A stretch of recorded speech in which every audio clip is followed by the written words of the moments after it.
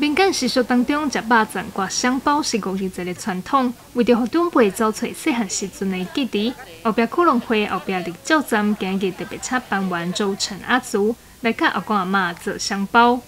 今天制作这个香包，那里面也有香料，啊也有放米，啊因为这个就是一种辟邪物了，一种辟邪物哈，啊所以会当讲，互咱这成员了解讲，咱香包的制作。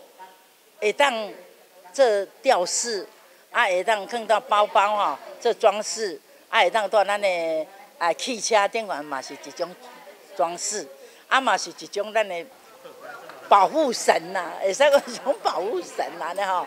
今日所做的香包的寸尺是真细粒高水，为着呈现上好的成果，阿公阿妈拢做甲真专心。因为咱讲包肉粽大粒如何包，这个香包。嘛越大越好，要越越好制作啦。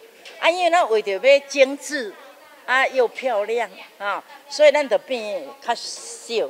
啊小，但是毋过就是讲制作方面较较不好听啊。因为吼，那他拄遐先就讲，啊机关老师啊，你拢拗的，阮头拢拗袂入，去拢碎碎。啊有的讲啊，我听起来拢长长，袂四角四角吼。啊，所以困难的所在就是细粒，啊要家己制作加工。安尼做做肉粽型吼，所以这就互因安尼吼用心的所在啦。老师表示讲，因为本身有这款的手艺，希望讲透过今日活动，将这款的技术传承落去，嘛，互厝边头辈做回来动手共同学习，过一个有意义的五二节。